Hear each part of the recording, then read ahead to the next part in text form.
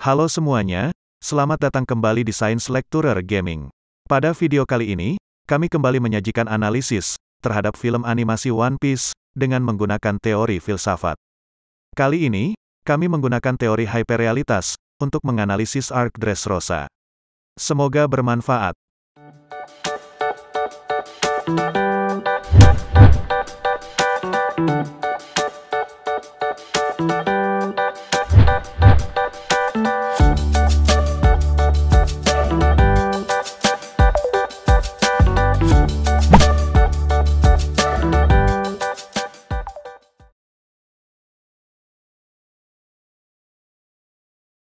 Hyperrealitas Hyperrealitas adalah teori yang menjelaskan ketidakmampuan kesadaran, membedakan antara kenyataan dan fantasi dalam dunia media, yang dapat mengkonstruksi pengalaman serta peristiwa sesungguhnya. Teori hyperrealitas berkembang pada masa postmodern, khususnya dalam aliran filsafat postmodernisme. Teori ini sering digunakan dalam ilmu semiotika. Tokoh-tokoh utama yang mengembangkan teori ini adalah Jean Baudrillard, Albert Bokman, Daniel Joseph Burstein, dan Umberto Eco. Di Indonesia, salah satu tokoh yang sering menggunakan teori hyperrealitas adalah Yasraf Amir Piliang. Ini bisa dilihat dalam salah satu karyanya, yakni Hantu-hantu politik dan Fata Morgana sosial. Karya Yasraf Amir Piliang itulah yang digunakan sebagai kerangka pikir dalam menganalisis Dressrosa. Hasilnya adalah seperti berikut ini. Dressrosa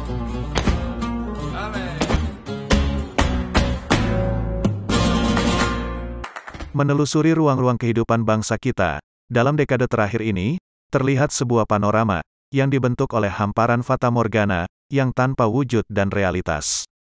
Hantu-hantu misteri yang penuh mistifikasi, panggung-panggung ilusi yang penuh kepalsuan dan kesemuan, jagat raya simulasi, yang penuh distorsi dan manipulatif, hutan rimba citra, yang penuh absurditas dan ironi.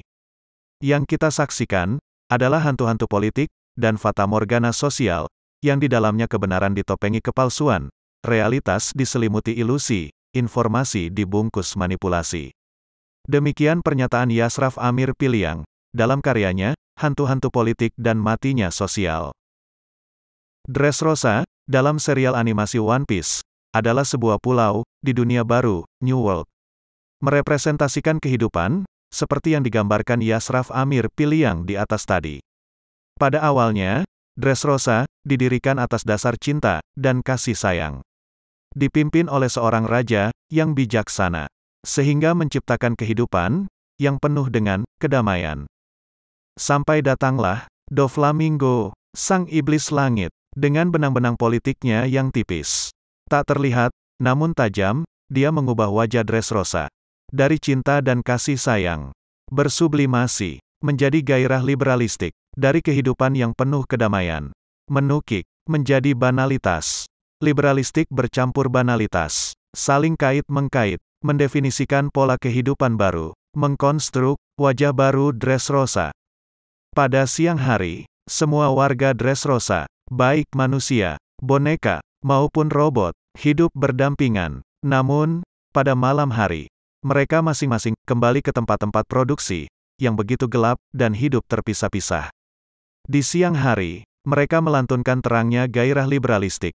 Malam harinya, mereka bersenandung dengan gelapnya banalitas. Kegelapan banalitas itu terlihat dalam pola kerja para boneka dan robot di pabrik-pabrik produksi. Saat mereka bekerja, pada saat itu juga, mereka kembali diproduksi, sekaligus dikonstruk kembali. Sementara, para manusia, sedang tertidur lelap. Mereka, manusia, boneka, dan robot, kemudian kembali ke permukaan, melantunkan kembali. Terangnya gairah liberalistik, seolah-olah, tidak terjadi apa-apa.